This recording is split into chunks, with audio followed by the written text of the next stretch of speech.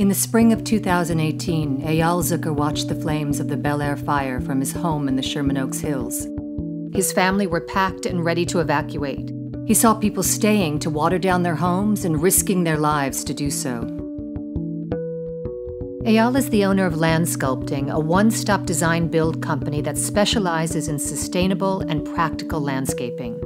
And after the fire, he began the design of a property saving system Land Sculpting's Outdoor Fire Protection System, or OFP. It is meticulously engineered to work reliably and simply.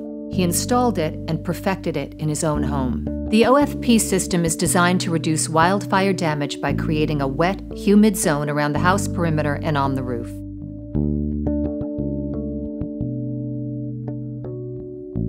OFP can work with public water and public electricity, as well as without public water and even without public electricity, by means of a pump and a generator.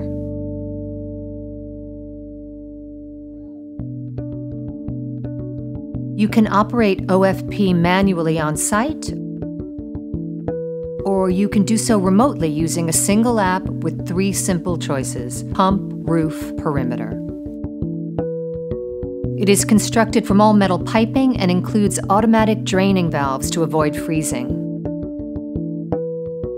The camera is optional and can be monitored and operated by the owner remotely. Every OFP system is customized to serve the individual property. Please contact us to schedule a free presentation and estimate or to see the system at work in Sherman Oaks.